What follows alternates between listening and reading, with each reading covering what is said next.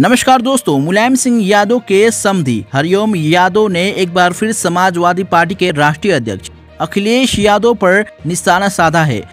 हरिओम यादव ने कहा है कि समाजवादी पार्टी 2024 तक समाप्त हो जाएगी। उन्होंने आजमगढ़ और रामपुर के लोकसभा उपचुनाव में सपा की हार का ठिकरा अखिलेश यादव और रामगोपाल यादव पर फोड़ा।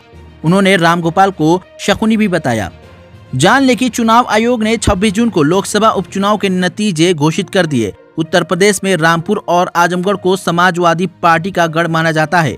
भारतीय जनता पार्टी ने सपा की दोनों सीटों पर कब्जा कर लिया है। रामपुर में बीजेपी के घनश्याम लोधी ने सपा प्रत्याशी मोहम्मद असीम रजा को सीधे मुकाबले में बयालीस हज़ार एक सौ बानवे वोटों के अंतर से हराया।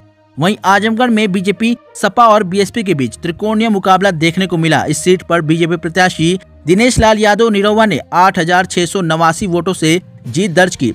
निरहुआ को जहाँ तीन लाख बारह हज़ार सात सौ अड़सठ वोट मिले, वहीं सपा प्रत्याशी धर्मेंद्र यादव को तीन लाख चार हज़ार नवासी वोट मिले। बीएसपी के शाह आलम उर्फ़ गुड्डू जमाली को दो लाख छियासठ हज़ार दो सौ दस वोट मिले। इन सीटों पर सपा की हार को पार्टी के लिए बड़ा झटका माना जा रहा है। विशेष रूप से आजमगढ़ और रामपुर लोकसभा सीटों पर पार्टी के दिग्गज नेता अखिलेश यादव और आज़म खान थे। इस साल की शुरुआत में उत्तर प्रदेश विधानसभा के लिए चुने जाने के बाद अखिलेश यादव और आज़म खान के इस्तीफे देने के बाद इन सीटों पर उपचुनाव कराना पड़ा था।